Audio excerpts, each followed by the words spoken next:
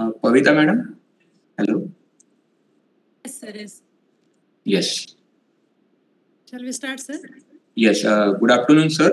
With your permission, uh, shall we start the session? Yes, sir, please. Yes. Thank you, sir. Thank you. Uh, Pavita madam, over to you, please. Vinay, sir. Hello? Yes, ma'am. Yeah.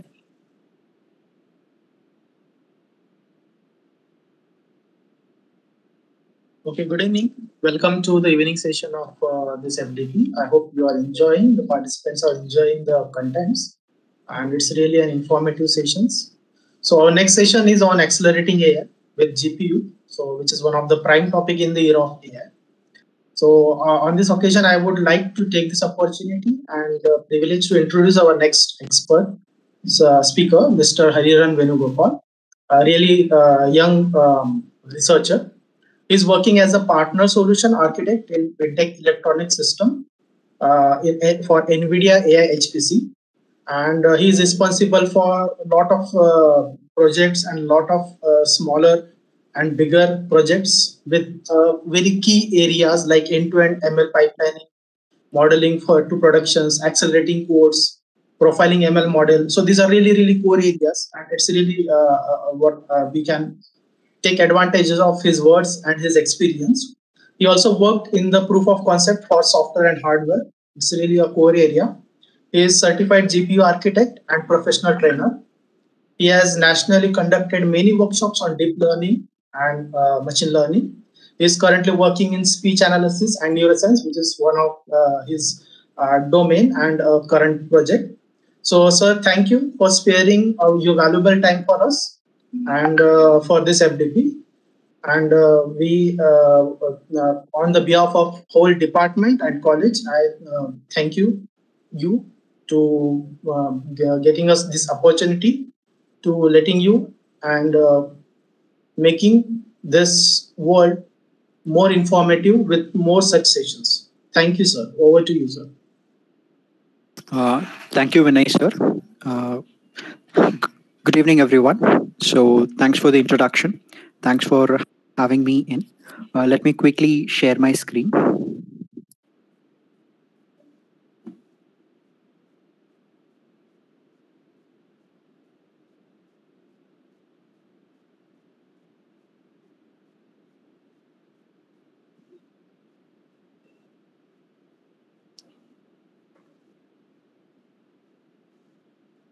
Uh, is my screen is visible? Yes, sir. So, uh, good evening, everyone. Thanks, thanks for joining. And it, it was a great introduction from Vinay, sir. Uh, thank you so much for doing things.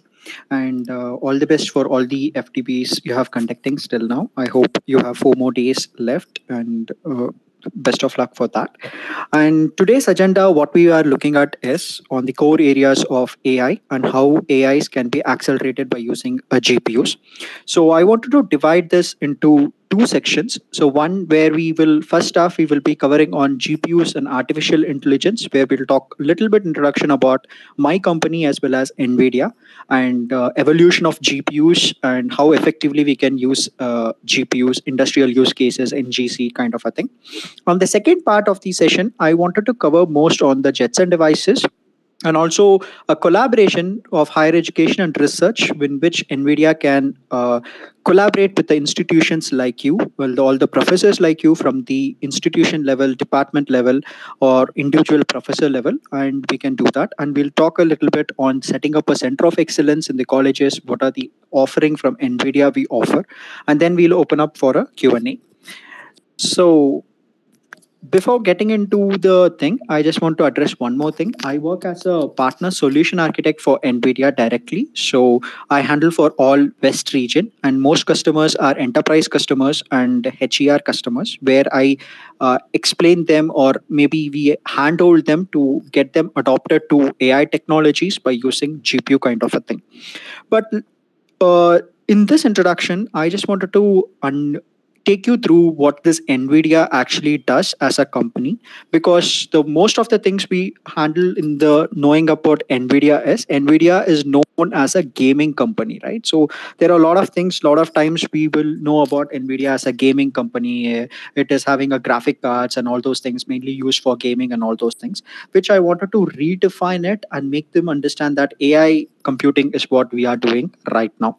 So what we do in the sector of what nvidia does in the sector of ai or nvidia is we started our journey in 1996 with a keen interest in working only through pc graphics where we were having a certain pro- problem statement which we wanted to solve in the area of graphics mainly in the animation industry and yes of course gaming industry where your gaming performance was lying on the cpu where we thought as what if we can have one more coprocessor which can define ourselves from the uh, continuously from take us away from this cpu processing and put us into the gpu and how we wanted to go. And that is how we started our journey in 1996 but in 2006 when the hpc was arising and it was coming into the picture where we converted ourselves into a GPU computing company because we understood that okay, graphic cards are no longer a graphic cards. It is not only used for gaming purpose, it can be used for mathematical operation also. And that is how we started to understand that okay, we will now move into something called a GPU computing and handle all those things.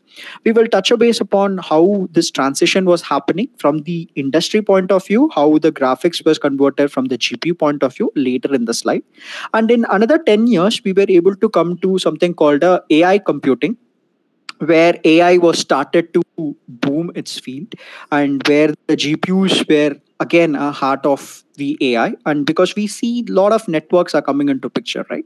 So that is how we came into picture of AI computing and we started our journey from not only from the hardware but also from the software side because hardware alone doesn't make a complete ai right so because when i say that i'm having a gpus what I have to provide also is I have to provide a tool set for making it use it in a very right manner. Otherwise, what is the point of having a world class hardware when your program is not able to communicate to it properly? And that is how we have developed our core power, not only in the CPUs, uh, not only in the hardware side, but also in the software side.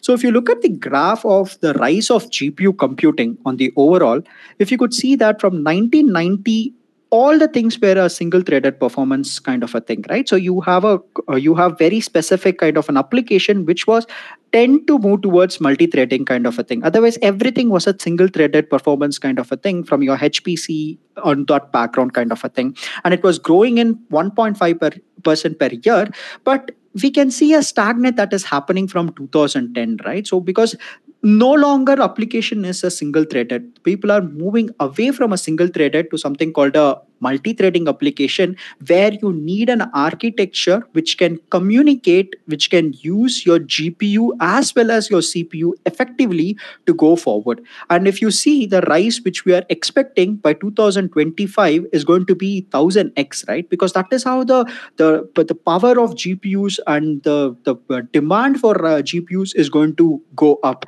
And because the all the application in today's world we write it in a multi-node kind of an application. It is not only in the uh, uh, ai field i'm talking about hpc and ai of course itself is going to be a game changer right? At least for next uh, 15 years it's going to be completely surrounded by ai kind of a thing. And of course then quantum comes into picture and whatnot. Everything comes into picture. So we wanted to define ourselves in this journey by not only providing you the hardware which was wanted to do it but also the software that integrates this overall journey and take it forward so if you uh, look at it from the industry point of view, we have a lot of top AI software companies, right? You can have Google, Microsoft, Amazon, Facebook, whatever company you take, Tesla. These all are the top AI software companies.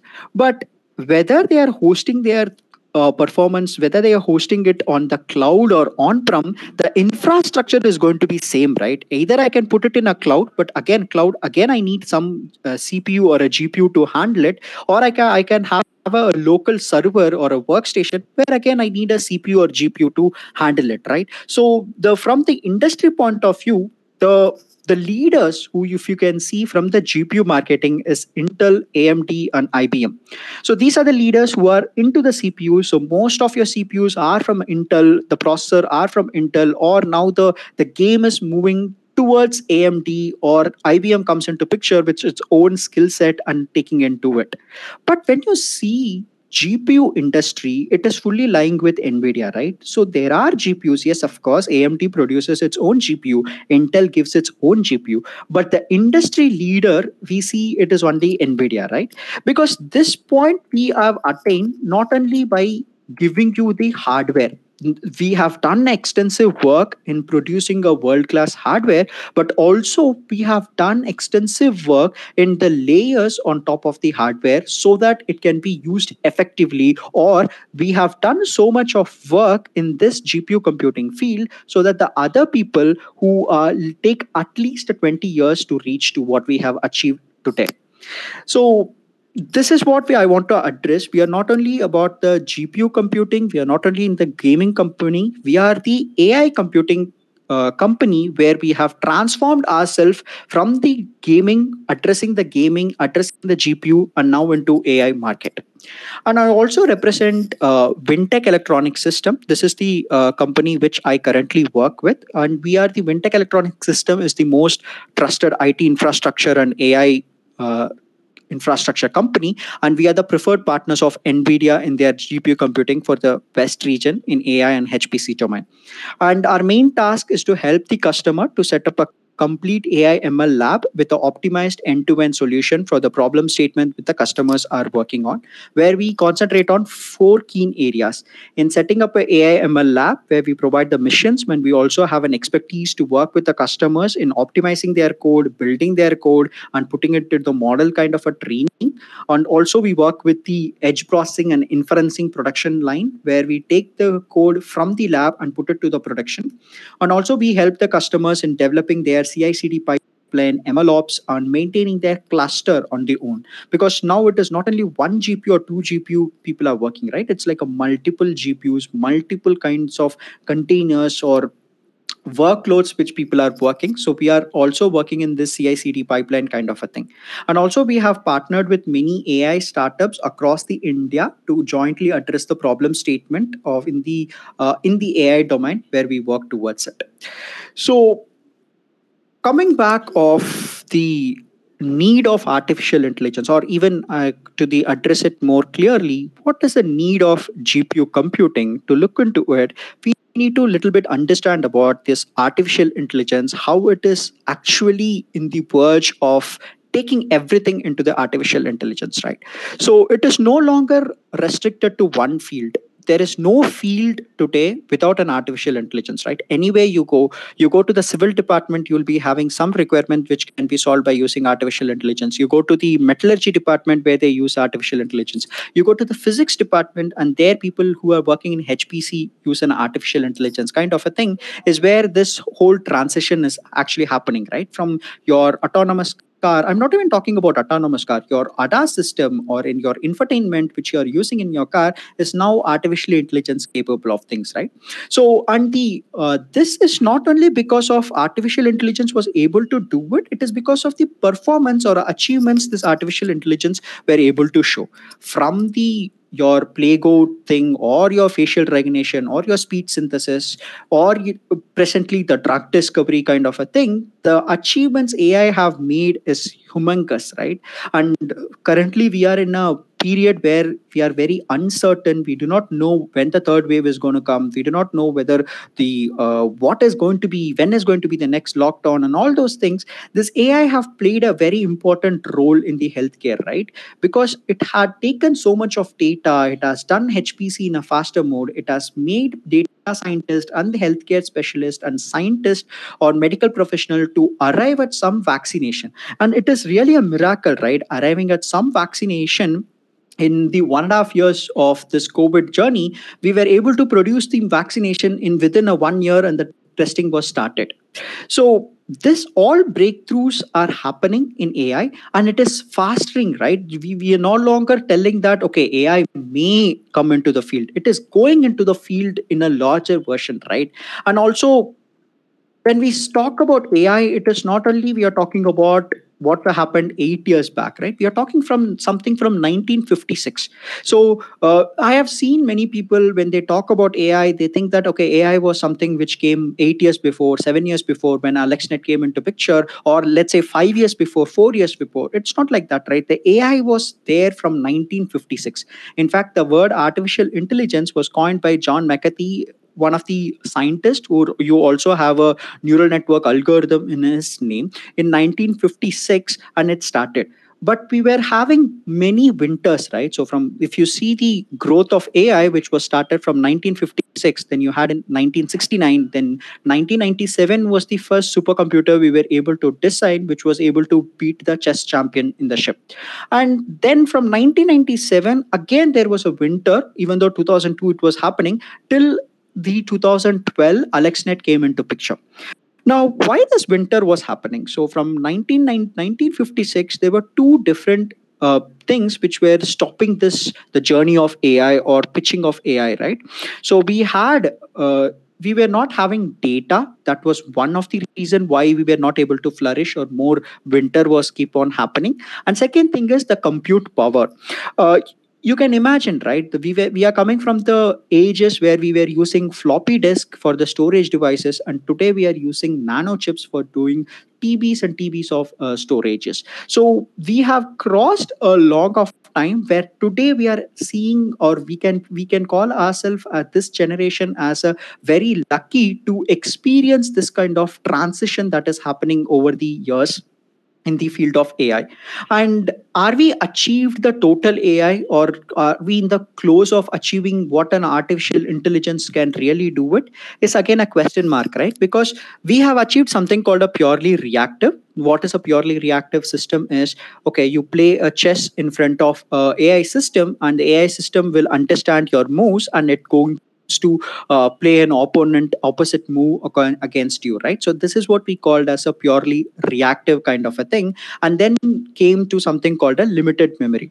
Now limited memory is the stage where we are currently present because we uh, what we call as a limited memory systems are the memory systems where it is having a trained data. It has some knowledge of the data it has been uh, trained which is a limited and then it takes decision based on that. Your recommendation system or your uh, google's map or whatever computer vision technique or nlp all comes under this kind of called limited memory which we are currently focusing on but we also have something called a theory of mind. So, what do you mean by theory of mind in types of AI is it is the AI which can able to understand the human emotions. So today we are having this Siri, we are having this Google Assistants, we are having Alexa, which is able to understand human command. So I'll say, hey Alexa, play a song for me. Hey Siri, uh, uh, call to this guy. Hey Google Assistants, book a, a ticket for me. Now this this is able to understand the human commands, but it is not able to understand the human emotions, right? So it will not react to according to our emotions. It just react to according to our voice command. And theory of mind is something which addresses the human emotions where we move towards that where it will understand how the emotions works in our world and then it starts communicating with those things. And uh, we are yet like four or five years away from achieving this uh, benchmark of the called something called a theory of mind. And then you have something called a self-aware kind of a robot where uh, you sh- you see this in movies right? A robot come it kills everyone and do all those things uh, like a terminator or a robo movie. And we are very far away. At least we are one 30 40 years far away to invent something in this. So uh, before that we all die due to age or something else but before this comes we are very very far away of 40 years. So even though we have achieved a stages in ai today ai have done uh, remarkable things. To achieve the theory of mind or to uh, go towards self aware kind of an ai it is going to take a longer period. So that amount of work is need to be done. And here when we say that amount of work needs to be done, as I said before, it is not only about the algorithms we write, it is about two important things. One is data, and another one is mainly your computing power. So when we talk about data, now we generate data in peta, not even petaflops. We are generating data in million of flops per second, right? So that is amount of the data it's getting generated every second in the world. Everyone in the world or like say 70% of the world started to use smartphones. We are using 4g technologies. We are ordering food. We are using cab and all internet technologies we are doing. We are very near to have a 5g technologies. Already phones are upgraded into 5g kind of a technology. So the data which is getting produced is humongous and every day that much amount of tb petabyte zettabyte of data is getting accumulated in the google data center or any data center because we use data for everything. And today, in the COVID situation, the data has been increased, right? The whole uh, virtual things are happening, your conferences, your um, education institute teaching to the students. So there are so much of amount of data now comes into picture. But now the question is how far we can use the algorithm and data and how fast we are able to do the process, right? That is where your processor comes into picture that is where your gpu uh, comes into picture. So if you see the previous generation when the cpu was performing and this is how we perform right? We have a pipeline processor where I have three commands to do it. Then I'll have multiple pipeline where it will take from the fetch, decode, execute, or again a second pipeline will be there when your second operation will go and then third operation will go. There are a lot of this kind of an operations were happening, right? And then we moved into something called a, a multi-execution units where multiple fetches were happening at the same time, and then you were able to have different pipelines for decode, execute, and write back kind of a thing. And looking back at how far we have come from is the first microprocessor which was introduced in 1970s was having only about 2250 transistors right? So that was the that was the journey of we going towards something into the uh, processor kind of a thing when the CPUs started to boom and all those things. And then, yes, of course, Intel's famous 8086, which was having 29,000 transistors. So we were able to scale about 27,000 transistors from just nine years. We were able to achieve this kind of a thing. But when Pentium was released, it was around 95 lakhs of transistors were able to reach. That is in 20 years from 1979 to 1999, we were able to achieve this kind of performances in CPUs. But the problem is we can't keep on stacking this transistor into my CPUs, right? Because CPU has a capacity, CPU have to go through the Moore's law, CPU have to have some limitations because it cannot handle this kind of transistors because it will get heated up and my cpu is not only used for my uh, compute intensive task but it also used for my other tasks right? So i can't keep stacking up on doing this. So in 1999 or in 1996 where exactly when this uh, gpu comes into picture graphics comes into picture this is where we understood from the nvidia or in the industry we understood that we need a co-processor which can offload these things into the processing powers and start doing the processing right? So I just wanted to quickly touch about on uh, the history of GPUs and how did they evolve in kind of a thing. But why do we look at the history of GPUs is by uh, current architectures or decisions won't make sense without having a historical uh, perspective, right? I'll be very quick in looking at these things. But before going into it, I just wanted to have a little vocabulary. So uh, three things which I wanted to address going forward is one thing called rendering, vertex and pixels.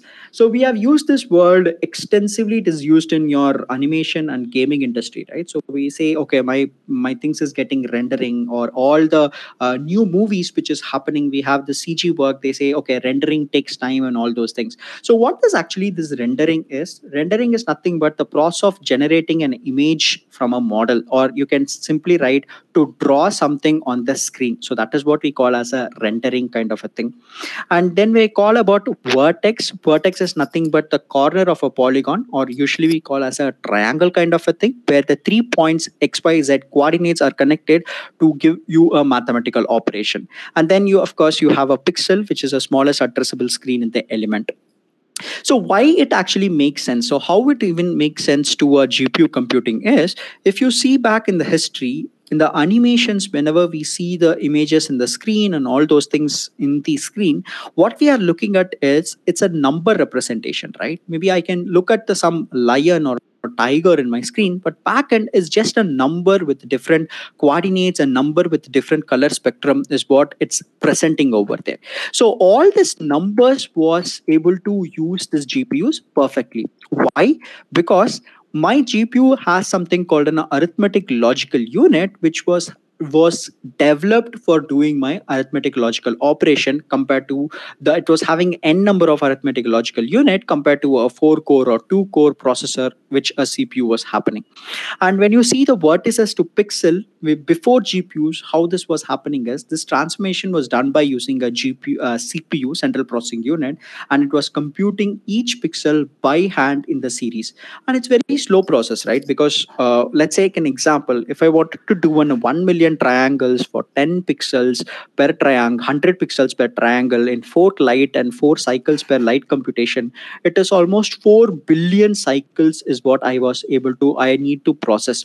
And now this 4 billion cycles has to be processed and if it is going to CPU, then there is a big bottleneck because all are serially yet to be processed in my CPU because it was having one core or only two cores or even four core only assigned for it. So that is where your GPUs came into picture, where in 1990s and 1980s we came up with something called a fixed pipeline architecture where you will get it host will be supplying you all the numbers which requires for the graphic computation. And then you have something called a vertex control which converts all this graphics into a proper uh, uh, way that hardware will understand and store those things into my vertex cache. And then you have vertex shading which will transform this into a lighting conditions and assigns the per vertex value like a color or a, a, depth of the image and all those things and then how your rectangle happens and it's create an equation for interpolating your color across the pixel touched by the triangle right? And then you're having your rasterization application which will determine which pixel should fall in which triangle kind of a thing and how to interpolate per pixel of the vertices and how your shader works from the final color from the pixel how your raster operation works. That is raster operation is nothing but taking your uh, existing things and how you're going to put it the blend of colors overlapping objects or transparency. And then you have something called a fpi where it will use uh, frame memory uh, frame buffer interface where it manages to write read write memories and all those things. So this is also was happening in late 80s and 90s but this is where nvidia have done a dramatic role in optimizing a gpu because we understood that okay everything is going to be a numbers and these numbers are going to be an independent one. So what i mean by independent one let's take a animation where uh, let's take a tom and jerry as an example where tom is going to uh, running behind that Jerry to catch. Now, when I'm running behind, when I'm going to do that kind of animation, it is from one vertex, that is from one pixel point, I have to move my tom to an another pixel point right? So that is how the running happens. Now the whole thing has to be computed in these cycles. Now since I have whole thing has to be in an independent data because I'm going to extract that for the all uh, matrix values. Now, when I convert this into independent data, now with my general programmability is going to extend to the shader stage, right? Where it tends to towards unifying the functionalities of the different stages as application programmer feels. And also main important thing which comes into picture is data independence. So my data independence was the key assumption is gpu irrespective of what we did on those days in 2001 or in today 2021 we always assume that data has to be an independent one compared to it and that's how we arrived to a certain uh, gpu cpu architecture where it was sharing your vertex core and all those things comes into picture where it was having a unified array for the processor and everything and everyone think was going smooth till 2006 but later how the transformation so till now we were i was just discussing on how this transformation was happening from the background of your uh, gaming processing, right? So now what happens after 2006 were something where GPU computing was coming into picture, where I have regularity and mass parallelism that comes into picture because that was a rise of all high performance computation that comes into picture. Let's say what I mean by high performance computing is, let's say I wanted to find the uh, weight of an atom or I wanted to find the experimentation or of an um, uh, physics pendulum or if I wanted to find something in the weather, forecast the weather. So this is how the whole transformation was happening, right? The massive amount of data, which is even parallelizing data, was coming into picture where I needed to do something. So that is where we thought that okay what is happening in hpc is we are taking some data points and we are doing some mathematical calculation and when we are arriving at some uh, results. So if it is going to do a mathematical calculation only, why don't we do it in by using a GPU? And that was the time when the GPU got evolved into something called a GP GPU, that is general purpose graphic processing unit. Until then, it was only for gaming, and then was the next sector where it was coming into the general processing graphic processing unit, where it was used for multiple uh, computation resources but if i directly put into from my gaming to my uh, hpc that is high performance computing where it can do a mathematical operations i am having a lot of problem right? Because we were not ready for this transition. That the problem is how do you communicate to the gpu how your mathematical equation should communicate to the gpu previously i was having the graphics api which was doing but here now i have a mathematical model which is like uh, uh, newton's law i have to do it Senger's law i have to do it. So that communication how i'm going to do it? Addressing modes how i am, am to do it. That is a size and uh, texture size and dimension of my data which is i'm going to pass to things that is going to be in a problem and uh, the shared capabilities that is how my outputs should be there how many outputs should i get how that resource is a problem and instruction set is again a lot of problem right? Because uh, till now i was having a very specific set of instruction set but now i have uh, something called uh, integer is coming into picture bit operations coming into picture. So those things are all needs to be there. And more importantly the communication was limited right? So previously i just have to flash it and my animation start running. Now i need my cpu core to do few processing as a serial processing and then i come to my gpus where i have to do the serial processing and all those things are there. And user defined data types. Say i i'm defining the data types in fp32 or fp16 or fp64 or in int8 or today we are doing in int4 also. That kind of things also comes into picture right? So how do we come across the constraints? So these are the constraints which we had it in that particular point of a time we have to overcome into the gpu gpu processing. But uh, looking back at looking at the development of a hardware or a software cycle it is not only about a software or a hardware that comes into picture right? There are a lot of other things which is there apart from this hardware and software. That is whenever i get an a hardware where the improvement is needed i i do some hardware testing and i do some of the process in the hardware. I put number of cores or i increase the core or increase the memory and i give you a perfect hardware and says that hey this is the state of the art hardware. And now to use this hardware yes people now started to write something in the uh, some something in the uh, better software kind of a thing. They start to write better software where they say okay now i'm able to experience or i can write a software to the flexibility of the uh, flexibility of uh, things uh, flexibility of the things which is going into much uh, better manner. And then when we do those kind of things again people get used to these kind of a software and where they experiment a lot of things and people start to ask for more improvements in their software and then it goes for the hardware improvement kind of a thing. So this is a typical cycle of hardware and software industry right? But the problem here comes into picture is it is not only about my software it is also the hardware which is also going to come into picture. Because when i when I prepare in a hardware or when I write a software, if there is a bug is there, or if when I, when when there is a bug is there, or when there is a changes in the process is there, then there is going to be a very a problem is going to be there, right? Because it is having something called uh, I cannot update the hardware like uh, I cannot update the hardware like what I'm going to do with my software because if there is a bug is there I can patch I can give a patch. We all use Android uh, phones or we use iOS phones where there is some a bug is there we do a patch processing and then we update the patch or the this kind of a things. But in a hardware when i do it what is the problem is if there is going to be a bug let's say i have sold this hardware to 100 people or 1000 people have bought this hardware and then i able to find okay that this core is not working this memory is having a bug it's going to be a very difficult because i can't go collect those things i can't have an update. I have to prepare a new hardware for it and i have to start doing it right? So it is going to have a very uh, difficult task in having this hardware and software integrated. Now even though when i'm saying that i'm going to have a perfect uh, even though i'm saying that and i'm having a perfect hardware kind of a thing then how i'm going to make my software is going to be an important task. As i said i can give you a world class hardware that can come into picture but if my software is not able to do those things then it's going to be a problem.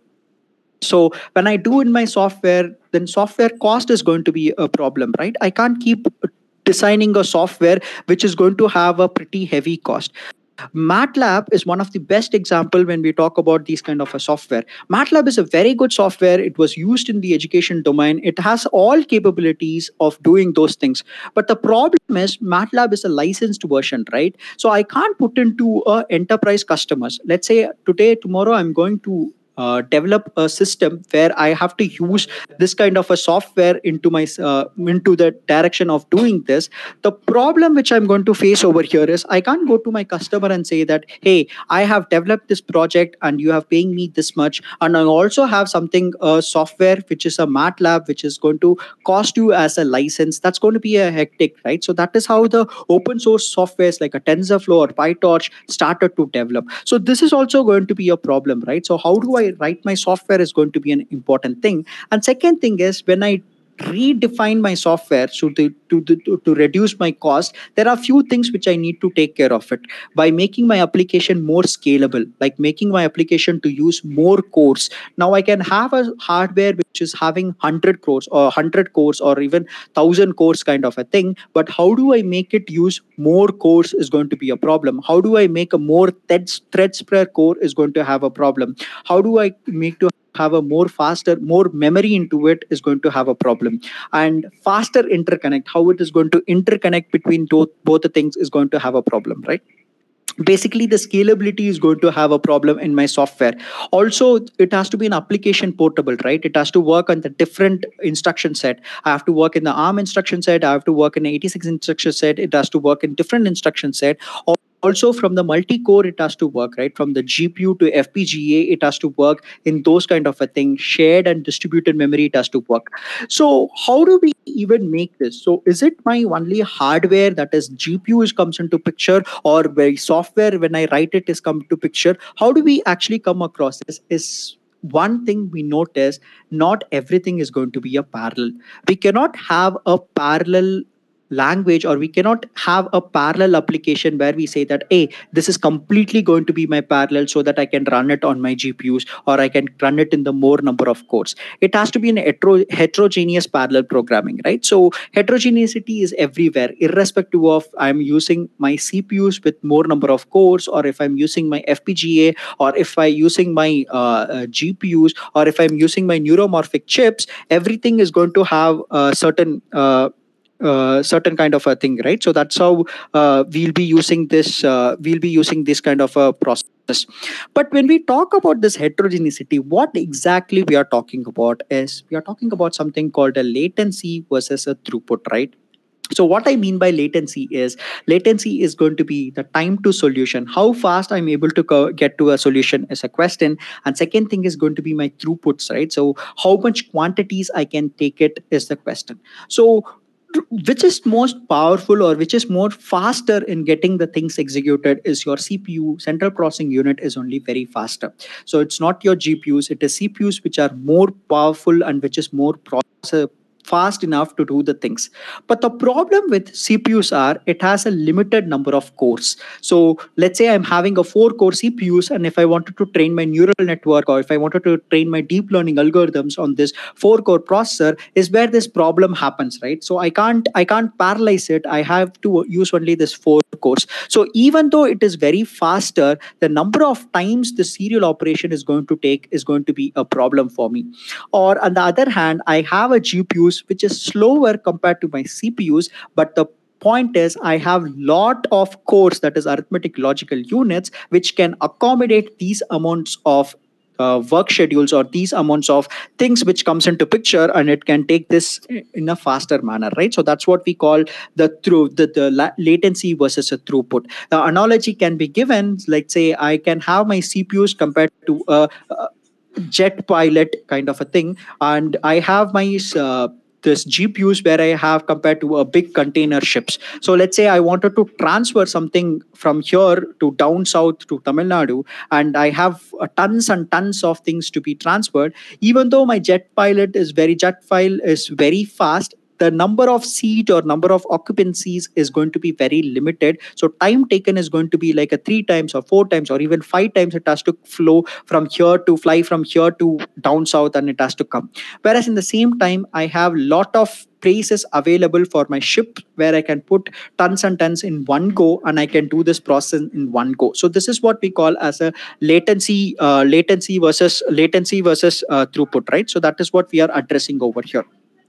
So, so when we talk about latency versus throughput, we are talking from the GPU angle. It is not only about the uh, now we're not only talking about the uh, parallel processing, but we are talking about heterogeneously parallel processing, where we have to attain the latency. That is, I need the things very faster, quicker. At the same time, I need to give the throughput in a very faster. So if i have 100 requests is given to me 100 requests should be very faster. At the same time i should able to process this 100 request at the same time. So that is where we are looking at this latency versus throughput. And that is where from the software angle we have to look into these kind of a things. That is i have a hardware which is able to do this kind of a faster things but is my software is ready to handle this hardware most efficiently.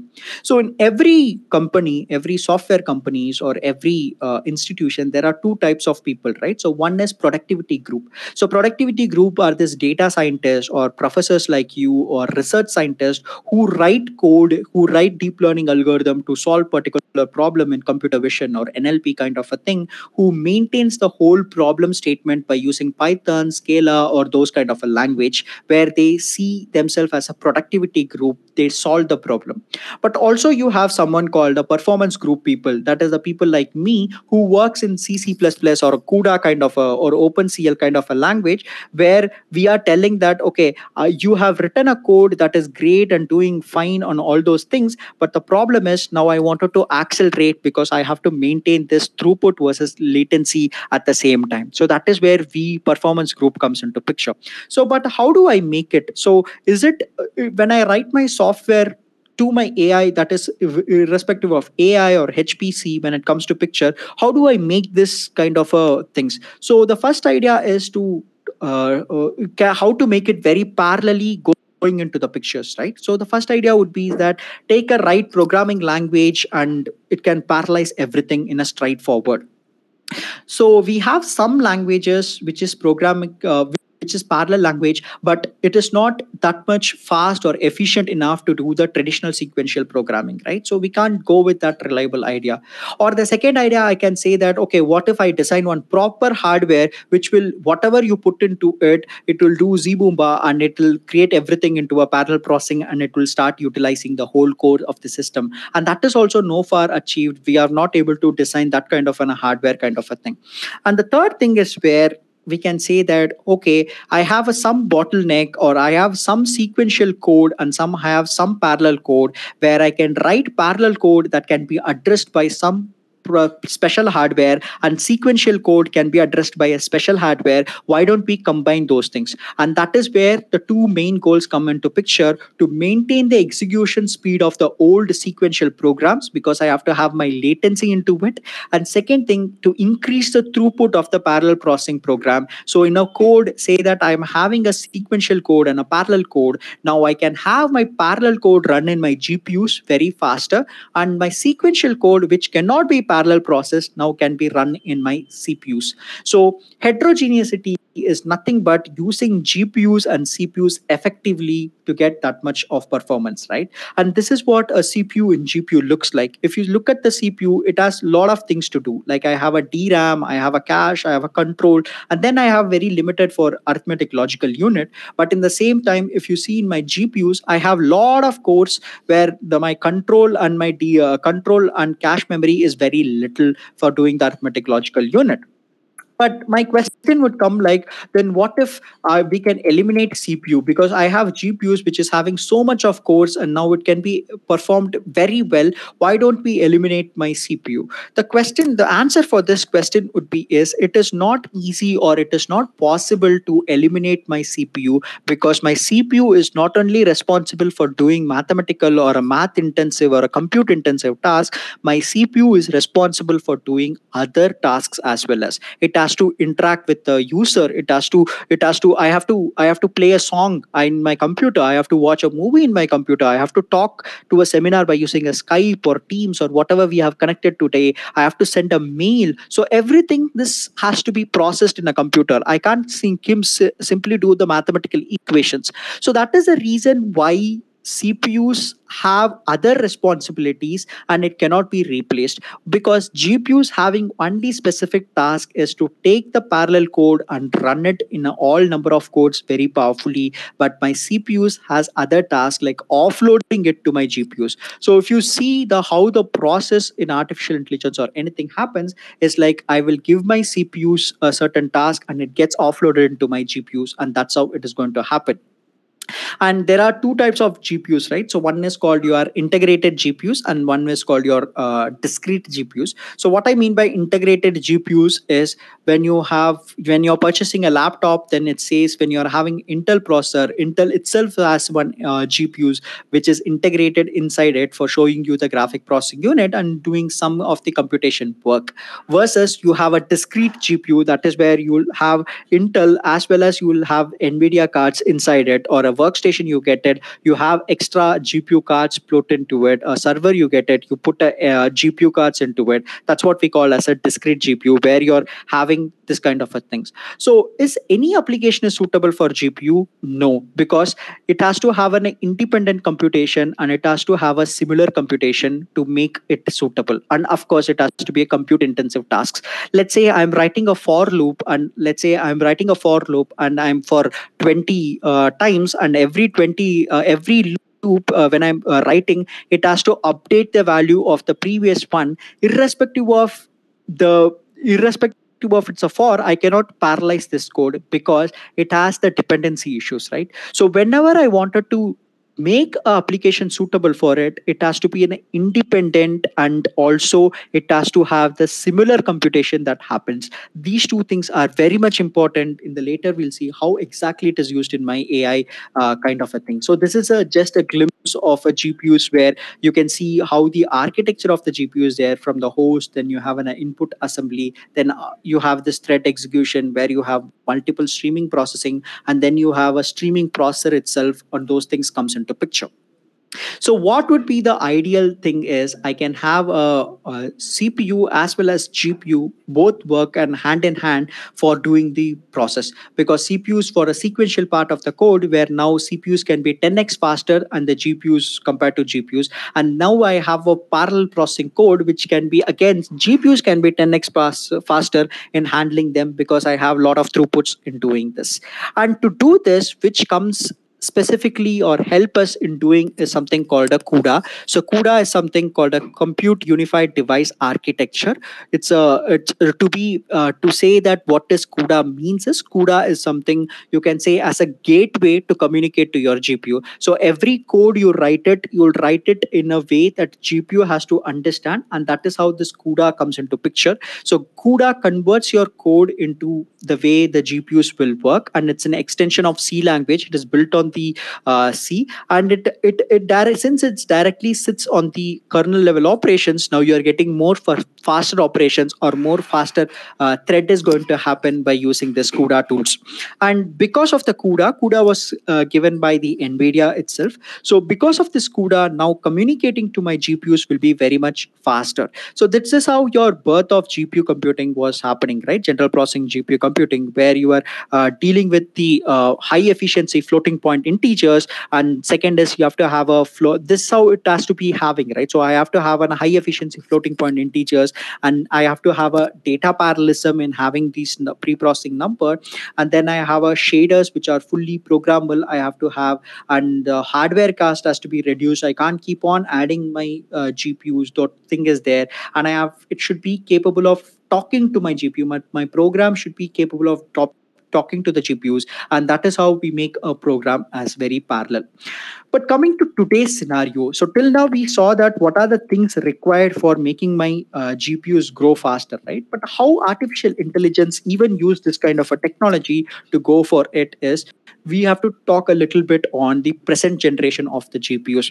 So A100 is something uh, is a present GPU that is current uh, newest GPU in the market and this was released in last year march 2020 and uh, the a100 stands for ampere architecture. So a stands for ampere. It's a kind of an, a micro architecture which is released from nvidia. Nvidia every two years uh, changes their architecture inside the number of cores and processor gets changed where it can able to handle multiple other computation things. So it is built massively for parallel computation process specific hardware software to manage the deep learning workloads like a tensor cores and mixed precision execution we'll look at what is these things to manage the software very properly. So that is how the a100 cards comes into picture.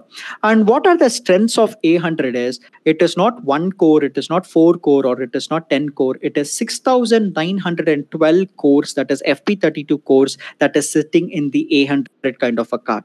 Now you can imagine what amount of computations it is going to do right? Now you have 6000 parallel processors which can run which will dramatically reduces of what you are going to do the training in your cpu let's say you're doing a, a object detection model training or say you're doing an image classification model training or medical imaging training in your cpu versus or in some uh, initial level uh, GPUs versus a A100 kind of a GPU. Now you can see that computationally it will reduce your time to do this process because it has so much amount of cores of FP32 cores, uh, CUDA cores I'm talking about. And there is if you see the transistor wise we saw that how in 17 uh, 1970 we were having we started this journey with 2250 uh, transistor versus today what we are having is 21.1 billion transistors has been embedded into the a100 kind of an architecture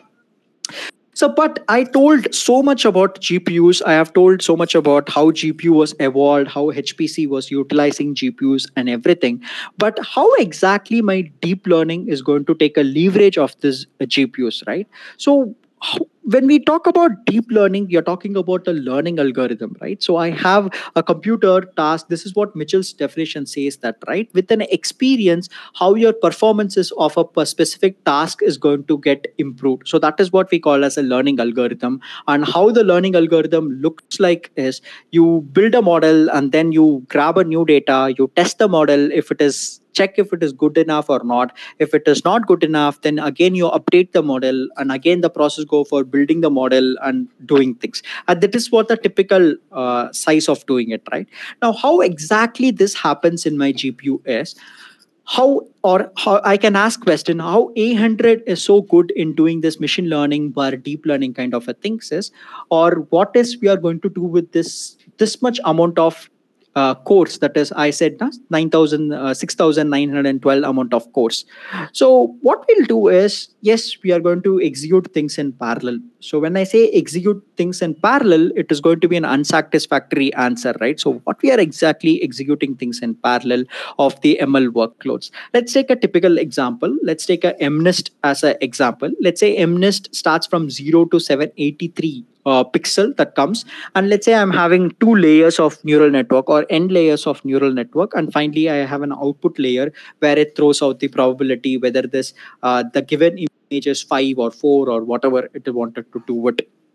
Now we discussed in the previous slides that can i what is a specific basic criteria to make any application suitable for a gpu is it should be independent of operation and second thing is should be a similar kind of an operation.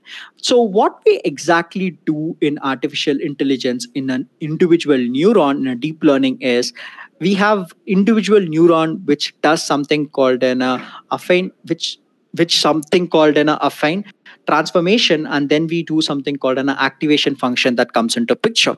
So every neuron is going to do the same thing right? So i have hundreds of let's say i'm having the layer 1 which is going to have 100 neuron and the layer 2 which is having again 250 number of neurons. This every neuron is going to do the same kind of an operation of affine transformation and activation function. And since it is fully connected neural network every every neuron is connected to every other neuron where the operation is getting uh, operation is getting repeated or operation is same.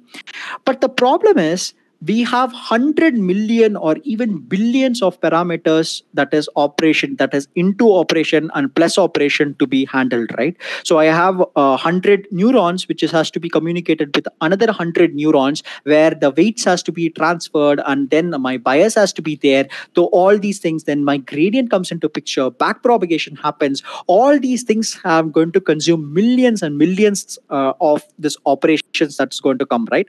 And this all are matrix multiplication operation. You have 2d matrix multiplication and then you have a 3d matrix multiplication. You have a tensor kind of a matrix multiplication. That is when you're doing a video data you have a fourth dimension that comes into picture. So the matrix multiplication is literally eating the world. So that much amount of resource is being used in literally eating the world so let's take a simple example of what I mean.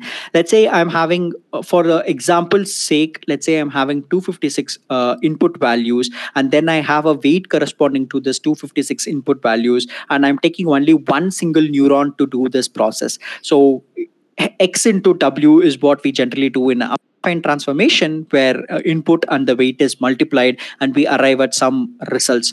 How this actually happens in backend is let's say I'm having a single threaded execution. Let's say I'm having only one processor at the time. Now the first uh, comes and multiplied into 0.1 and that gives you some results. And now that has to be processed and it has to go for the next result so the storage gets stored. And then again the second processing happens. Again a second instruction set should go and the store this should be stored. Again third instruction set fourth instruction set. Likewise the instruction set should happen one by one by one. So it is single threaded process. So if i have to do the single threaded process for 256 values it is 256 instructions has to be processed or 256 times this has to be done at the same point. And this 256 into some delta time right? So it is let's say one second 10 second whatever seconds is going to be the total execution for this pro- for this neuron to get it completed. This i'm talking only about one neuron uh, by the way. But now and then i come to the gpu execution when i'm having the 6917 uh, 6912 uh, CUDA cores how this transformation happens is every uh, every multiplication or every individual neuron now go take one core and do the processing. So i'm no longer get associated with single threaded process. Now i'm going something called a multi-threaded that is parallel threaded process everything that happens in single go. And now when you see the execution time of everything that is 256 will happen at the same time and the time it is going to take is going to be only a delta t.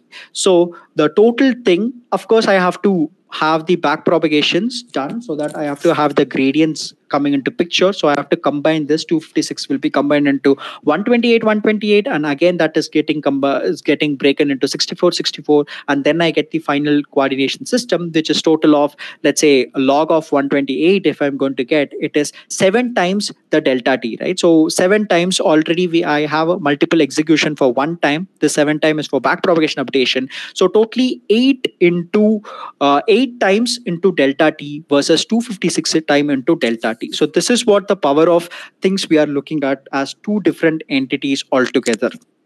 So you could see that the comparison of why GPU even come into today picture is when I'm able to reduce from 256 into delta t to 8 into delta t is where the magnitude gets changed or where I'm getting the speed in my artificial intelligence.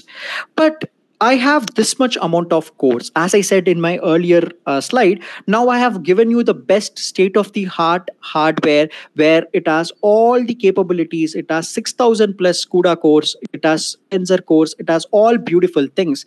But as I said, it is not always the hardware that has to be evolved. It is also the software, better software that needs to be wrote, uh, written so that my process, this both collectively will give you a world class AI product. So architecture wise i have all the gpus which comes into picture. Let's say i'm doing the inferencing from the tesla cards or i can have a supercomputers like a dgx supercomputer system or i can work for my visualization task or ar vr task. I can have a quadro gpus and everything or i haven't have an edge computing kind of a thing where i have a jetson uh, kind of a devices for doing the inferencing. So architecture wise we are having the best. But now coming back to software wise how do we even have a best software kind of a thing and that is where we as an nvidia company contribute to the software as well as. So software is something when we talk about every major framework let's say i wanted to have my framework in tensorflow i wanted to use pytorch or even Mat- matlab which is a licensed one. Even in matlab i can now have an nvidia sdk software development toolkits for used to address these kind of things. Now i can make my software also efficient enough. I can write my software also in efficient enough to do this process from every verticals irrespective of computer vision speech or audio time series or natural language processing but the problem is, it is not only about software, it is also about the massive amount of computing where it has to take place. As I said, from autonomous driving to astrophysics, genomics, medical data, or even in the weather prediction, nuclear fission, we have to do it. And we have different kinds of roles, right? We have in industry, you have a data scientist and researchers who are trying to solve a particular problems. Then you have a developers, that is machine learning engineers, who are trying to build the code in doing, and then you have an admin people who are trying to maintain the whole system kind of a things. So different goal uh, roles but uh, they all have a same goals that is how to make my system faster time to solutions. How do i complete my research in a very faster manner? How do i ask so much students that is 100 students if i'm hosting i'm having a computer vision class how much how, how can a 50 60 students or 20 30 students can communicate uh, to the same gpus in a very faster time and all those things how fast i can do it? That is where better execution of the program comes into picture. We have something called a ngc so what i mean by ngc this is where we are concentrating on our software development skills also. So ngc stands for nvidia gpu cloud cloud. So NVIDIA GPU cloud is not a cloud. It's not a typical cloud which we hear outside. It's just a repository. So it's like a GitHub. It is a repository. And what this repository is capable of doing is it has the Docker container because today world everything has been dockerized everything has been containerized. So it will have a docker optimized docker container to use it and to do these things. And what all there in the ngc kind of an architecture is now i have 50 plus containers that comes into picture of doing this. This containers will have uh, TensorFlow. This containers will have PyTorch environment. This containers will have uh, all your all the major frameworks that picks into comes into picture is where your containers comes into containers will come into picture, and then you have your model script and pre-trained models. So. Uh, artificial intelligence is not only about building a data right so i don't need to reinvent the wheel when i already have something called a pre-trained models i just do a transfer learning and then I can do the processing. But now this transfer learning, whatever I do from, let's say I'm taking an inception network or let's say I'm taking the uh, uh, something in the Google uh, object detection API or a YOLO or a SSD kind of a thing should be optimized enough to handle my GPUs properly. I can write a code, but the code writing capabilities is different from person to person, right? So how do I effectively use this GPU properly is where our NGC comes into picture where we have pre-trained models and industry workflows for like a medical imaging kind of a specific task tools artificial uh, intelligent video analytics specific tools video analytics specific tools or uh, let's say uh, data science specific tools that comes into picture where you can write these things in a very faster manner or in a very efficient manner where you can use these kind of a containers and why containers why can't i use a bare metal server is containers simplifies your deployment process right? So it makes your life very simpler. It is not getting uh, it is it makes your life very simpler. It has not been like multiple people are not using your containers and uh, uh, it it it will it will make your product more portable and scalable compared to what you write in a bare metal server right? And institutions like uh, uh, colleges like you let's say i'm having a lab session i wanted to conduct and where i have uh, say 20 or 30 people coming into picture and i'm coming i'm asking them to do a different kind of a task in artificial intelligence everyone is going to install uh, some frameworks, right? So one person can install uh, TensorFlow, one person can install PyTorch kind of a thing. And this container is nothing but like a virtual environment that gets uh, that gets installed in these things so that your workflows can be accessed in a very faster manner compared to what you're having in those things. So that is why the reason why we go into the container and why specifically ngc container as i said ngc is given from nvidia directly. We know what gpus you're going to use because my container will have looking for a specific gpus so we are the producers of gpus now we know what program we are writing. So we write the software in a such a manner that it effectively uses the hardware and gives me the result out. So that is where we talk about ngc containers that comes into picture or redesigning the enterprise or hpc environment and run it anywhere. You can run it in your jetson devices you can run it in your nvidia supercomputer you can run it in other devices where this comes into picture.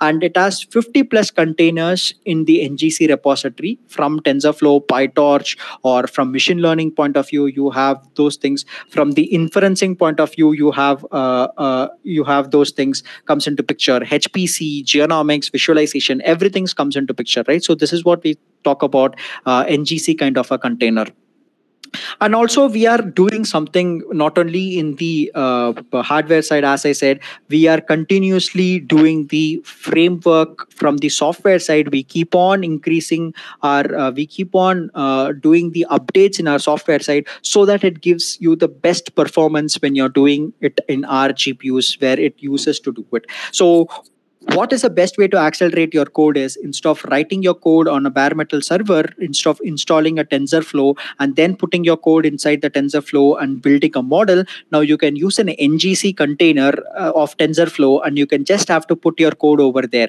Now since the TensorFlow, which is opti- or optimized by NGC, now it will give you the best, better performances compared to a bare metal server where you have installed uh, TensorFlow or a PyTorch or whatever framework on your own. So that is what NVIDIA's uh, NGC is all about. And next, I quickly wanted to touch about on okay, let's say I'm I now I've I have I've written a code. Let's say I've written a code for computer vision. I have written a code for NLP kind of a task, and now I have 800 kind of a GPUs which is having 6,000 plus things. I've also used uh, NGC container where I have converted my code into the uh, where I have converted my code into the uh, uh, converted my code into uh, the uh, where it can give you the best performances on all those things. But the point is is it over? Is it like can we put it inside the code and it will give you the performance of awesome magic? Is it end of end over there?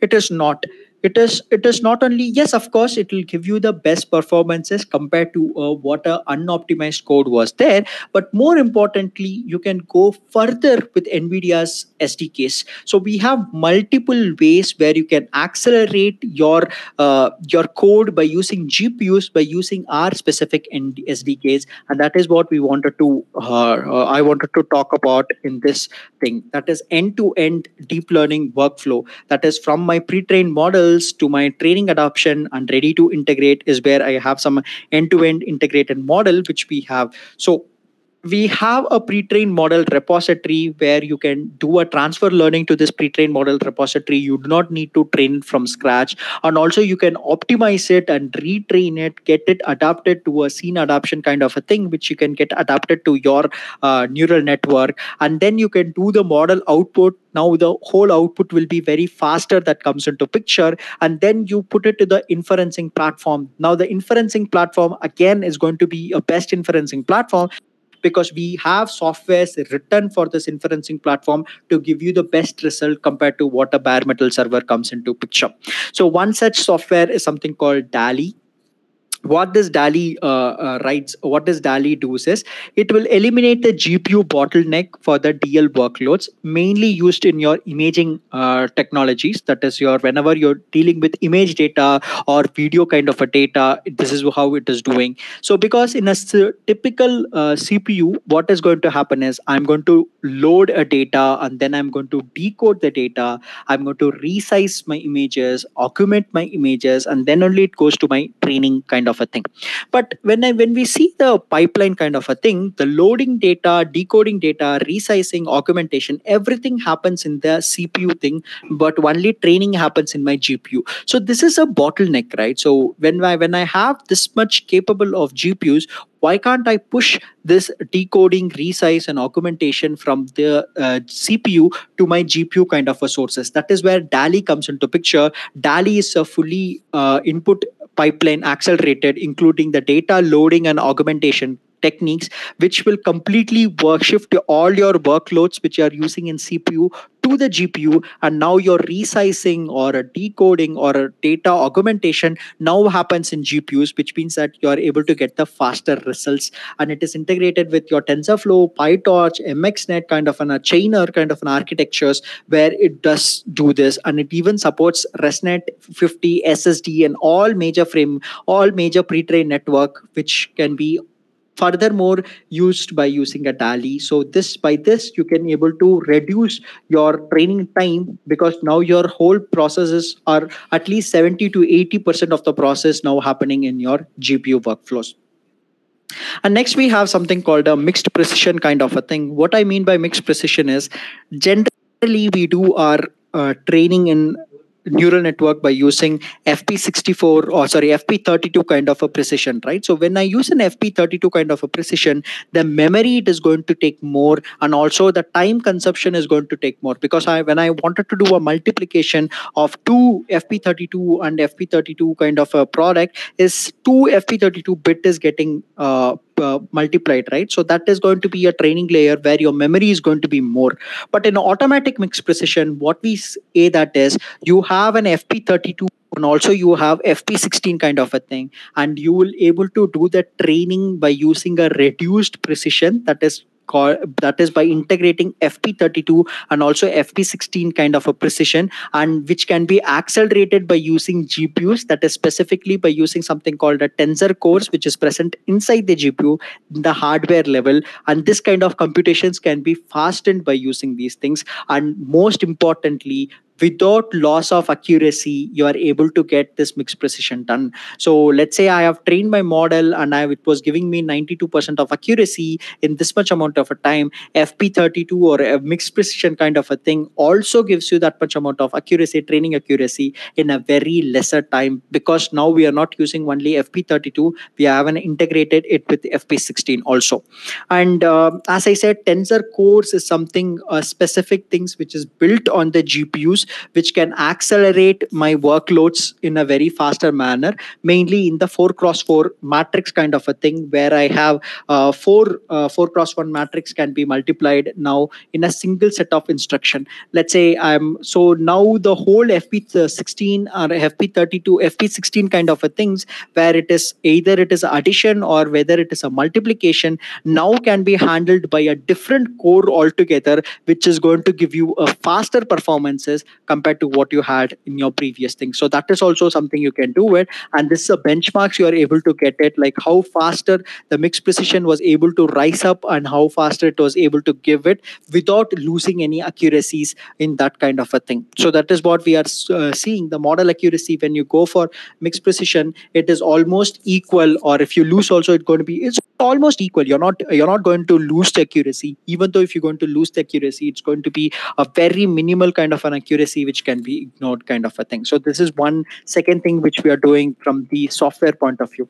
Third, we have something called a NVIDIA Metropolises it's an intelligent AI, uh, video analytics software. Mainly, we use it for uh, uh, smart cities because when I'm dealing with smart cities, uh, kind of a uh, uh, uh, when when we are doing a smart city kind of a thing, smart city kind of a projects. Now, what we are looking into this is we are not on. We have to train it from the scratch, right? Uh, so when I'm uh, when I'm doing it uh, from the training from the scratch kind of a thing, it is going to take a lot of time for me to do this kind of a process. So from the transfer learning toolkit to the DeepStream, which I'm going to get it, it's going to have a process which is getting involved because I have to train my data, I have to collect my data, and I have to do a lot of computation kind of a thing. So this is where NVIDIA Metropolis comes into picture. It has something called a transfer learning toolkit where you have a data converters where you can put your uh, code into your data into it. It has a scene adaptation techniques which will train it will prune the networks and it will tune it according to what present data you have. And then you can take it to a DeepStream kind of an environment where DeepStream is your analytics video analytics platforms. Now that can be handled multiple streams can be handled by using nvidia gpus where you're getting the faster things and all those things. And it's a analytics software also right? You're getting the real time analytics of your video data also. So this is one thing we do in nvidia metropolis as a sdks and finally we have something in a healthcare. And we have done a lot of work in healthcare for the past 10 years where we have started from 2017 2007 to 2008 where the clara comes into picture. Lot of innovations have been happening in healthcare. Lot of uh, uh, pro- lot of uh, codes we have written. Mainly the present which we are working is something called nvidia clara which is having something called an automatic segmentation of the medical images. So you don't need to work much on your annotation of the data. You don't need to work on the segmentation part. It can automatically do the segmentation for you when you're doing with uh, when you're do dealing with multiple uh, medical imaging kind of a thing. So it supports up to uh, 14 to 15 organs of automatic uh, uh, segmentation kind of a thing. It has that pre-trained algorithm which is already running. And when we talk about medical data it is not a 2d data right? It's 3d data of things the volumes of data needs to be processed and that can be easily uh, done all those things. And now you have something called a you know, deployment is also going to be very easy because you are having something called a clara deploy which will use the deploying manager and make your system go faster. So this also can be done. Or say rapids. Rapids is one of the SDKs where we use for data scientists, machine learning processing, all your pandas or NumPy, which is all are compute intensive and which is a CPU dependent, now can be converted into a GPU dependent. You can accelerate by using a GPUs, by using Rapids kind of a thing. So that is also possible. And finally, we have something called a TensorRT kind of a workflows where you can tra- take your trained model, which is trained by using some GPUs or some CPUs. You can take that trained model and now you can do a faster performances in using this uh, uh, in using this trained model by using something called a TensorRT. TensorRT is nothing but it optimize your trained model without touching the math of it. That is, it will after the model is being trained and then give you better performances and it can run on any GPU platforms so these are the things which we look at the from the sdk way kind of a thing right? So uh, as i said it's it's about writing it was it's about having the perfect gpu as well as perfect uh, software is coming into picture. So i should have a perfect hardware that's where we are uh, a100 comes into picture. And then i have something called a perfect uh, gpus where our uh, perfect uh, software sorry perfect software where we have abundance of SDKs which having so much of functionality which comes into picture. I highly recommend you people to go and search for the NVIDIA SDKs and use it for your use cases wherever you're using. We have lot of SDKs, lot of NGCs that we have, which for every use cases we have done something and we have used it.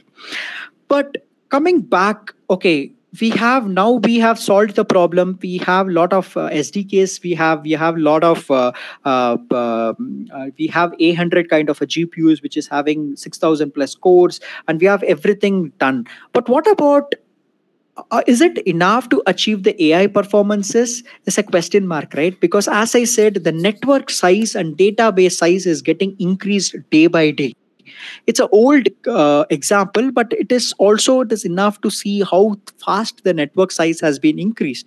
In 2015 this is an imagenet ResNet competition which was having 7 exaflops of 60 million parameters. And in two years in 2016 when the uh, neural uh, machine translation from google came it was having 100 exaflops and 8700 million parameters which is need to be utilized.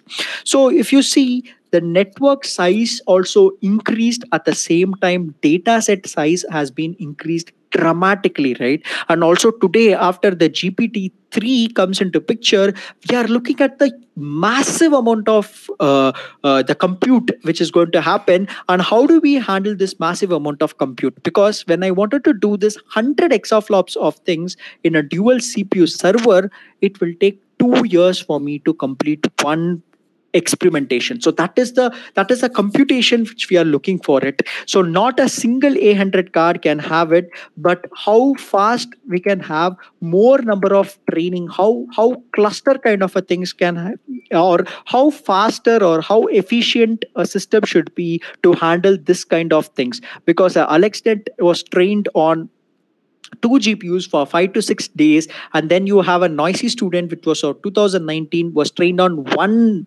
K, that is 1000 TPUs for seven days.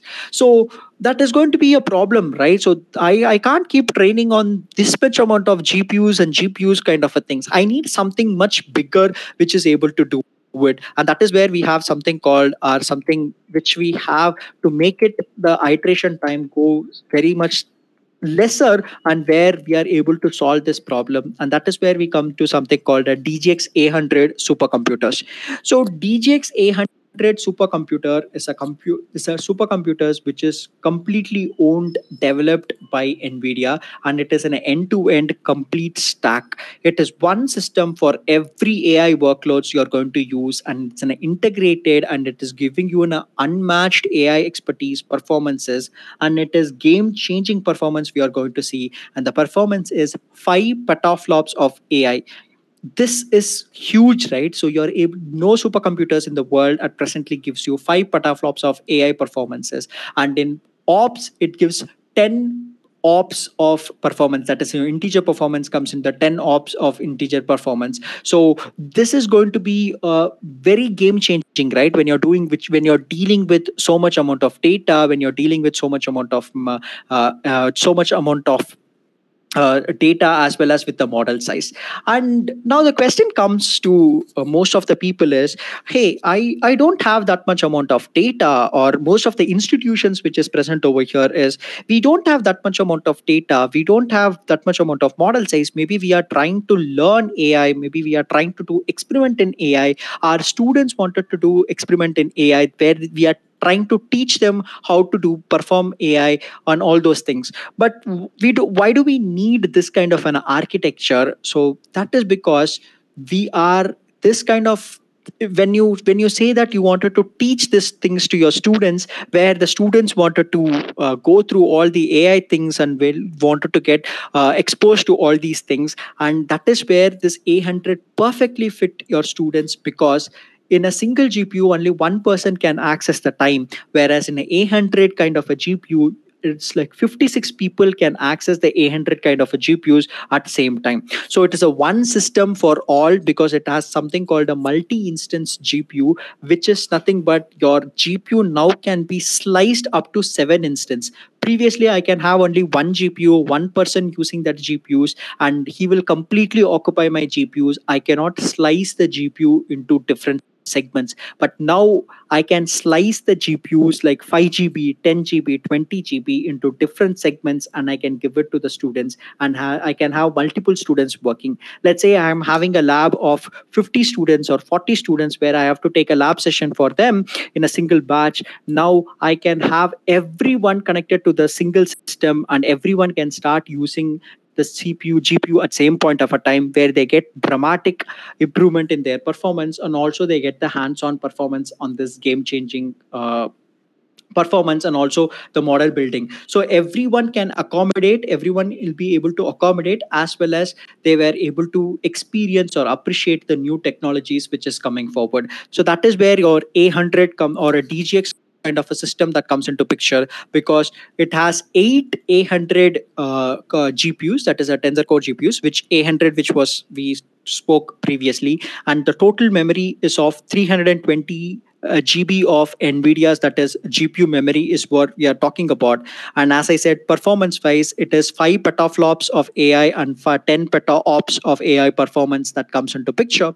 And uh, again, for CPUs, we, as we said, it is always going to be a CPU GPU combinations. We have uh, you know, we have joined our hands with the AMD processor for this GPUs where you are getting 128 cores of total GPUs and 1 TB of uh, RAM memory you're going to have and 15 TB of storage is going to have.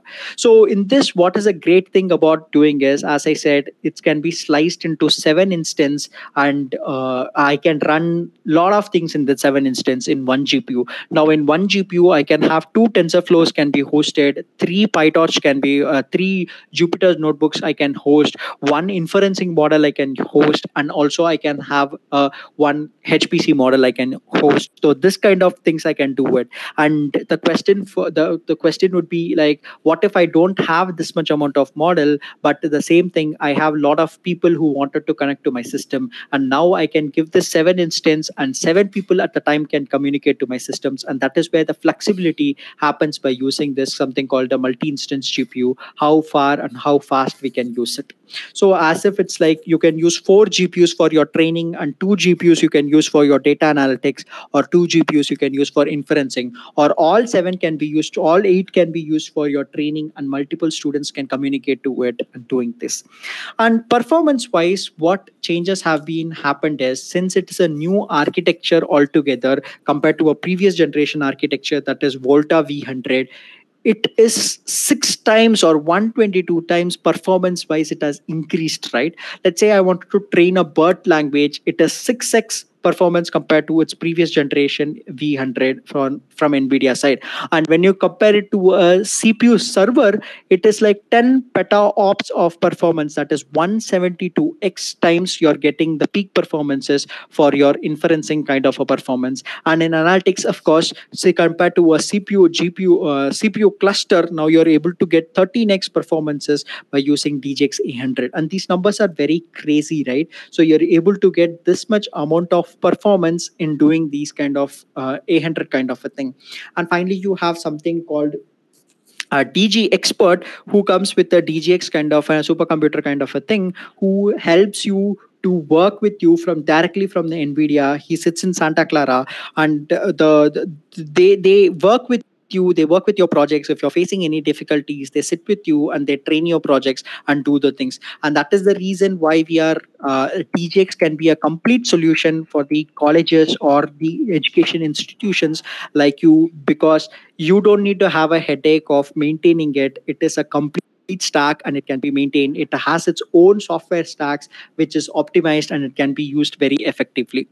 But now, after training it, we have to go for edge processing, right? So that is where our Jetson comes into picture. That is from DGX. Now I have to go for edge processing, where I wanted to do robotics, where I wanted to have uh, lesser bandwidth, where I wanted to work in many uh, similar example like a smart city or a facial recognition app or say uh, object detection which i wanted to create and i wanted to show those things. And that is where your edge comes into picture so we have amazing product lines. That is our uh, something called uh, jetson devices where jetson is a small embedded computer which ai supercomputer which is used for this ai inferencing. It's just like your uh, uh, it is a it's a bad terminology to say this but it is actually that's that's how we can uh, make people understand. It is like your raspberry pi now has a gpu on top of it. Now you can expect that how computationally faster your things can be and the size is going to be similar of your raspberry kind only. So that is where our jetson boards comes into picture and we have something called jetson nano which is uh, a least ai inferencing the last uh, the smallest model in the ai inferencing engine which we have which is having 4 gb of ai uh, uh, that is gpu memory and where it can host which is used for your multiple inferencing techniques. And it comes in two form factor that is in uh, 4 gb of memory and 2 gb of memory. And 2 gb of memory is just nine, uh, $59 only right? So it is very affordable also to the people who wanted to use this jetson nano for their final year projects. So you can you can actually uh, encourage your students to use this kind of a jetson nano in their final year projects because this will bring them uh, the recruiters who is coming to your uh, office or your uh, colleges will, will the projects which they have done is what is going to get evaluated by these recruiters right? So when the people are started to use this kind of gpus in their projects in their pipeline is where your students will get more exposure to this kind of an architecture right? So that is where your jetson nanos or these kind of things. And of course it's affordable. The, the, there is no much difference between a raspberry pi 3 and a jetson nano which is 2 gb is $59 so it is more like you can uh, get it and you can experiment with it and all those things can happen. And the performance is also very good right? When you're doing inferencing you can see the resnet 50 it gives around uh, 40 to 35 to 40 images per second of inferencing bandwidth is you're getting in the Jetson Nano. Whereas if you're using a Raspberry Pi, you know that your Jets, your ResNet 50 will not even sit or will not even get accommodated in your uh, Raspberry Pi kind of an environment things.